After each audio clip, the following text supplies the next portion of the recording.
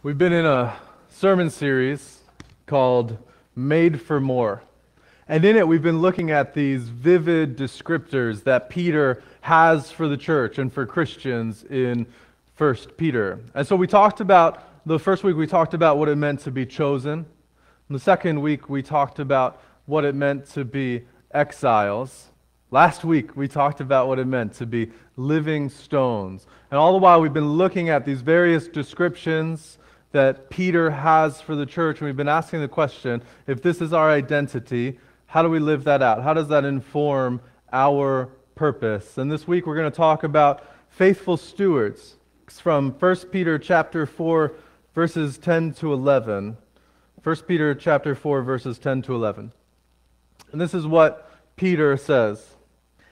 Each of you should use whatever gift you have received to serve others as faithful stewards of God's grace in its various forms. If anyone speaks, they should do so as one who speaks the very words of God. If anyone serves, they should do so with the strength God provides, so that in all things God may be praised through Jesus Christ. To him be the glory and the power forever and ever. Amen. I think there are three simple things that I want you to know from that verse right off the bat. The first one is that we've all received grace. That word is charisma, and it means gift or grace. We've all received a special gift. We've all received grace. Grace is the theological concept could be defined as the unmerited work of God in us, for us, and through us. You see, oftentimes we think that grace is just forgiveness. And, and so we use that. You know, someone, someone hurts us or offends us, and we might say, well, there's grace for that. But grace is more than just forgiveness. It's really anything good that God does in our life, and, and we haven't deserved it. That's it. The unmerited, the unearned work of God in our lives. And Scripture says that each of us has received grace. Scripture also says that we should use it to serve others. You've been given grace in order for you to use it to serve others. This is what the Holy Spirit, speaking through Peter, is telling us. And lastly, that you are stewards of God's grace. And all of that is packed into that, that very first verse from Peter. You are a steward of the grace of God.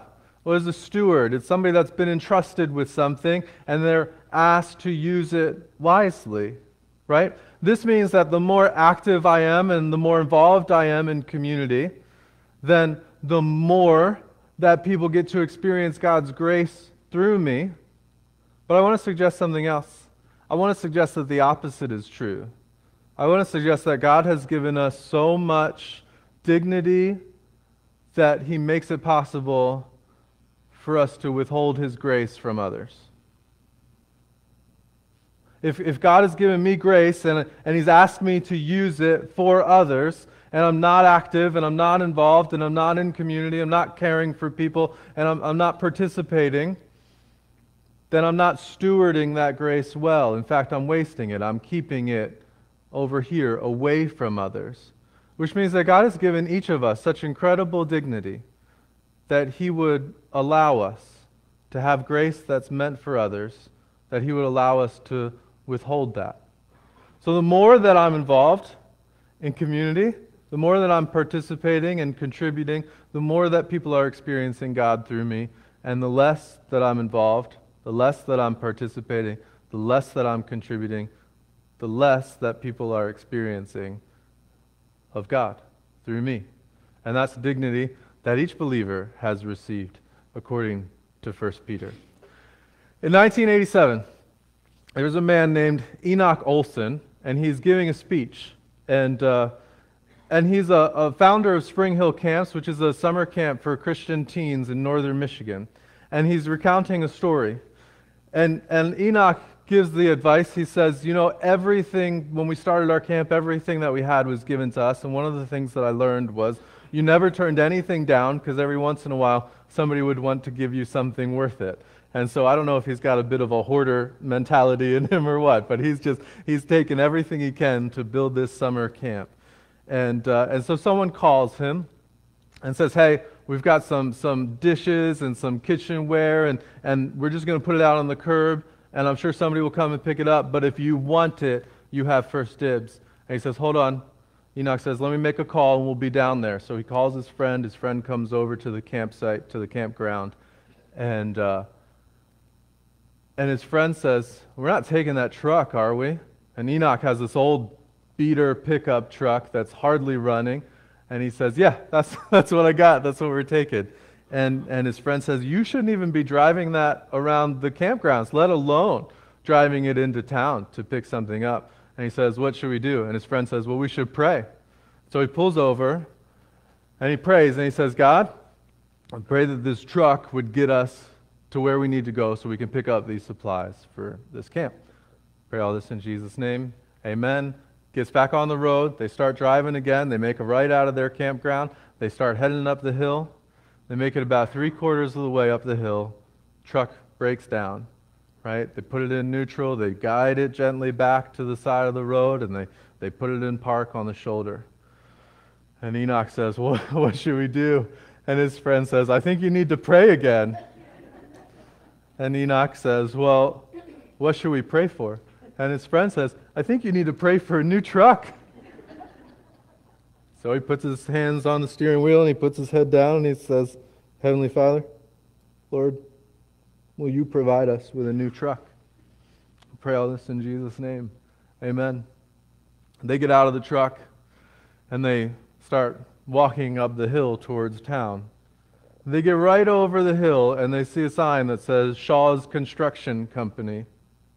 And so they enter this this construction yard, and there's a trailer there that the office is, is operating out of, and there's construction vehicles and heavy equipment, and then a line of brand new quarter ton, half ton, one ton pickup trucks. And Enoch turns to his friend and he says, Well, pick one out. right? And they, they go into this trailer and they say, We're here to see Mr. Shaw and the woman lets them back to see the boss.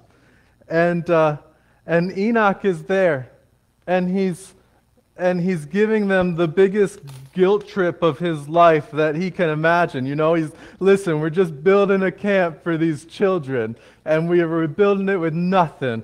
And everything that we have is given to us. And, and so our truck just broke down, and we've been praying and asking God for help, and, and we saw your business, and, and would you give us a truck? Mr. Shaw says, No, but I'd be happy to sell you one. And Enoch says, Listen, listen, this is how much money I have. This is what we're going to use to pay for lunch. We probably won't eat today. I can't buy a truck, but I would love to have a truck. and this goes on and on, and, and Mr. Shaw eventually he gets annoyed and he's less and less polite. And, and Enoch keeps pressing, keeps guilt tripping, and, and, and Mr. Shaw says, I think it's time for you to leave. Escorts him out the front door. Enoch gets about two steps out the front door. And he says, Mr. Shaw, have you ever seen a miracle before? And he thinks for a moment. He says, No, I don't think I have. And before Enoch can say anything else, Mr. Shaw says, Wait a second. You're going to ask me if I will be the miracle for you. You want me to answer God's prayer because you prayed and now you want me to prove that God is real. And Enoch says, Yeah, that's where I was going with that.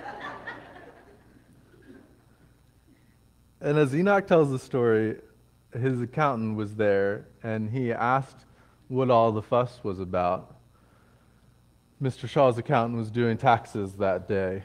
And, uh, and so they had a conversation, and the accountant ends up telling Mr. Shaw to donate one of his trucks to Enoch because it would somehow be better for him that way, according to his taxes. And, and so he ends up walking out of there with a one ton flatbed pickup truck. And they're driving into town. And Enoch's friend is going, I just don't believe it. I just don't believe this. And I think Mr. Shaw makes a good point. Sometimes God wants us to answer those prayer requests in a, in a very real way. Sometimes God does want us to, to provide the miracle that someone is looking for. Is that not what Peter is saying when he says that we are to be stewards of the grace that God has given us? And it's been given to us specifically so that we can serve others with it. And so I want to suggest three lessons to us this morning. The first one is this availability is better than ability. I think of some famous coach said that once, but it applies here. Availability is better than ability. Right? I, I mean, if you all of this skill set, all of this gifting and talent, but you're not available, then you're, you're what are you worth to people that need your help? And yet, if you're mediocre at everything, but you're available, my goodness, God can use you.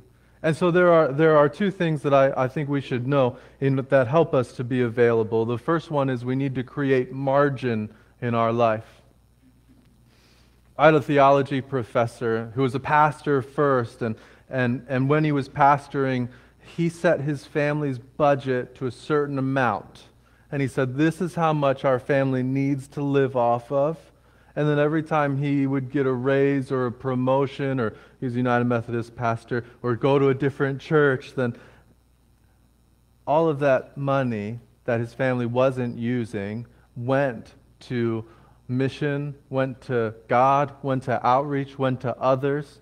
And he said, But one of the beneficial things of doing this with your life, creating margin, is that when I was called to be a professor, and, and the school that I went to work for said, but we can't pay you as much as you're making now. He was able to say, it doesn't matter. No problem. Man, if this is what God wants us to do, our family, I don't even have to worry about what it'll cost my family because we're, we're already living within our means and that won't affect our life at all.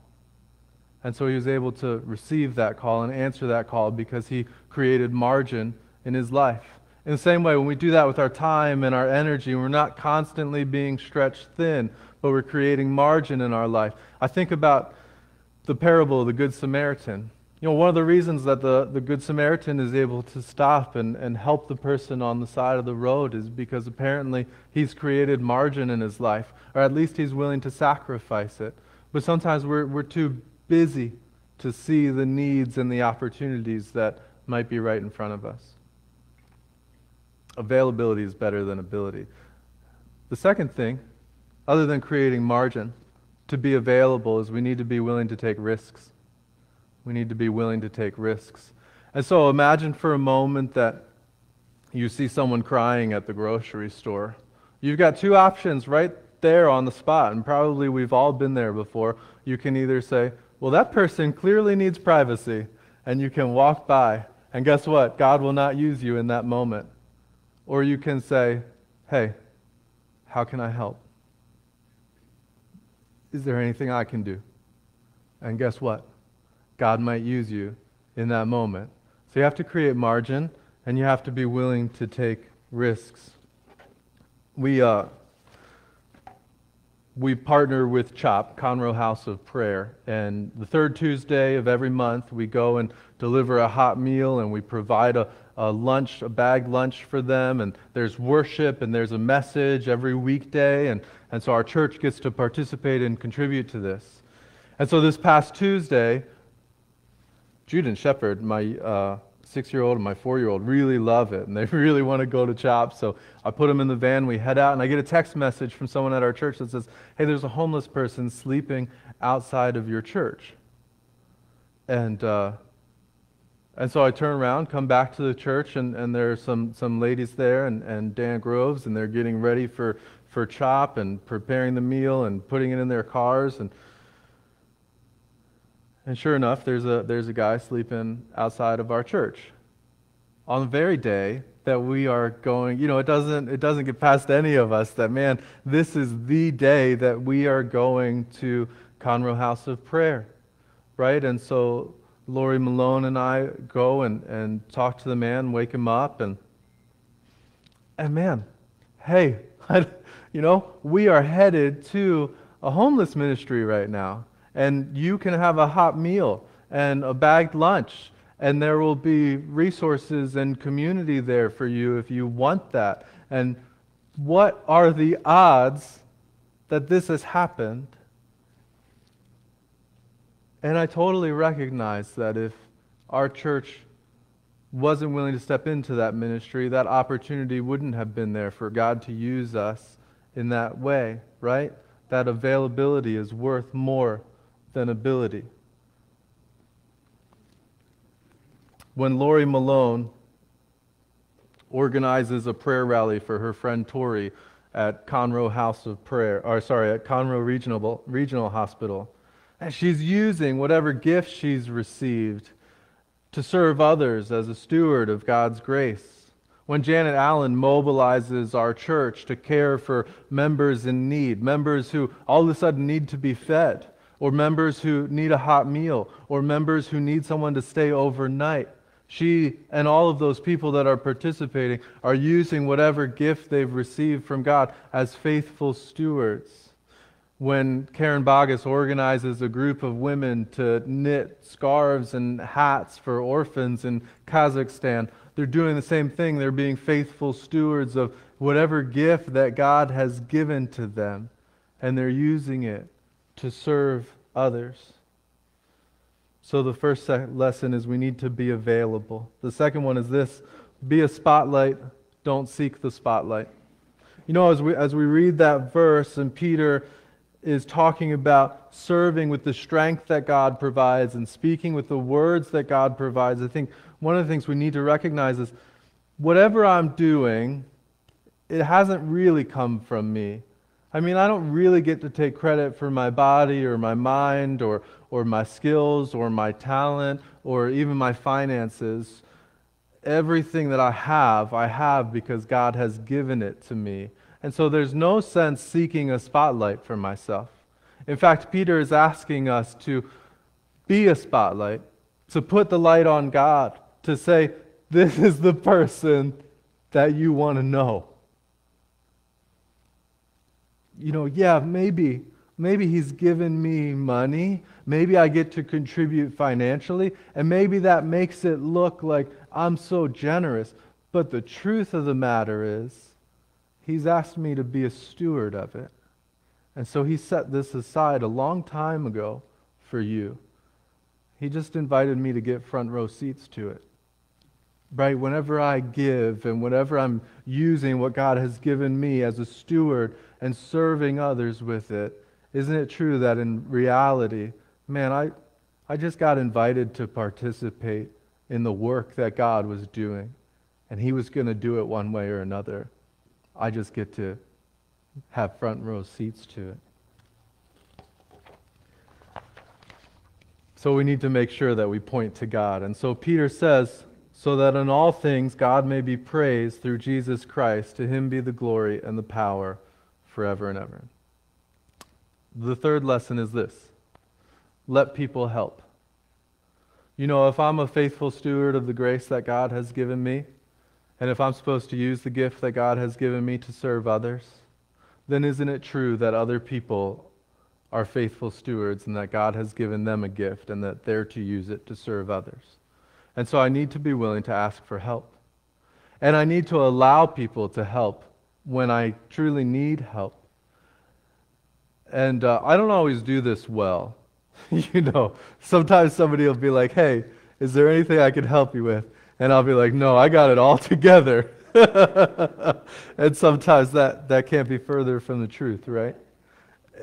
In fact, um, it happened that, that somebody had offered to help me, and I turned it down, and I kind of, you know, um, was just not allowing that person to help me. I remember telling that story to Wendy Wilbur afterwards, who goes to our church, and she said, Keith, if I may, you robbed that person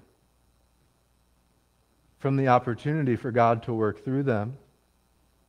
You robbed that person of a chance to be blessed by God and, and to be a blessing for God. And, you know, I think she was right. So we need to be willing to ask for help and we need to be willing to receive help and recognize that when we do, we're allowing other people to be used by God. So here's two tangible ways that you can respond today. Some of this was by design, some a little bit of it was by chance. Uh, come to the volunteer fair after church today. It's in the fellowship hall. It's 30 minutes. And you can see all of the ways that you can get involved, all the ways that you can tr- contribute, and maybe you'll think of a way that, that that fits with your gifting, and you can go, yes, I can, I can use my gift to serve God as a faithful steward of the various uh, grace of God. And if you're not available, you know, if you're like, oh, I got something going on after church, I want to point out the fact that that kind of proves my point.